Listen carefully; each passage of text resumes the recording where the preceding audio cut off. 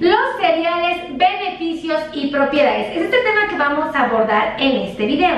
Amigos, muchas de las personas que viven con diabetes no saben si es correcto comer cereales o no. Y cuando hablamos de cereales estamos citando, por ejemplo, a las tortillas, que son un cereal. Hablamos de lo que es el eh, maíz, propiamente el elote. Hablamos del pan, en este caso es la concha. Cuando cereales hablamos del delicioso arroz, por supuesto. Hablamos de las pastas, la sopa de pasta que es como muy común, del espagueti, también es un cereal.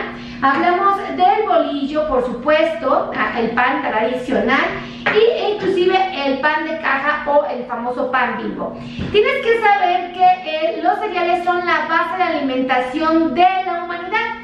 La verdad es que los hispanos los comemos con muchísima frecuencia. Y bueno, la mayor parte de las cereales van a proceder de unos granos que vienen de unas plantas que se pulverizan y se vuelven harinas. Y la calidad de estas harinas es lo que va a brindar la calidad del cereal.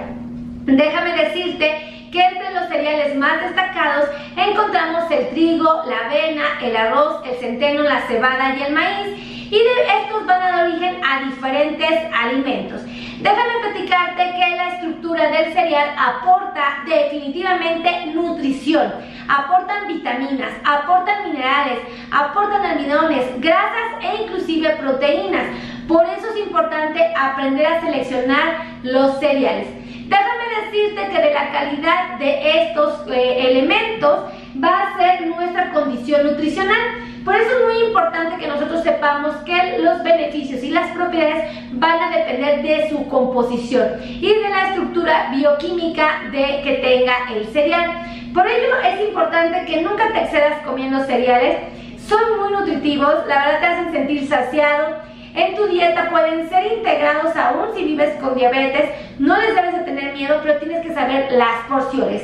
Acuérdate que una tortilla es lo mismo que una rebanada de pan de caja.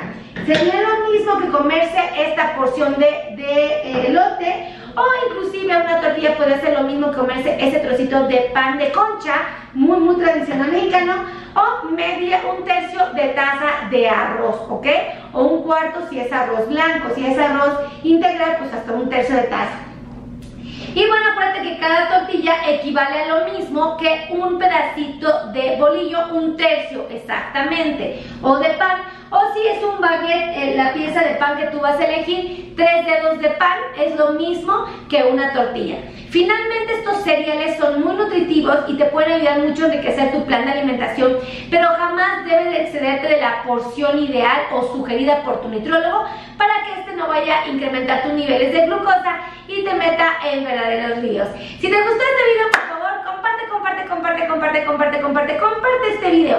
Y de igual manera te voy a invitar a que te suscribas a mi canal de YouTube, a que actives las campanas de notificaciones y que seas mi amigo en mis redes sociales. Acuérdate que tengo TikTok, Instagram, Facebook, YouTube y dos canales de YouTube. Mi primer canal que se llama Melissa Tejeda y mi segundo canal que se llama Melissa Tejeda Podcast. Así es que comamos cereales a todos los que nos gustan los cereales, unos taquitos serían deliciosos. Me voy, me voy. Los quiero a todos. Adiós.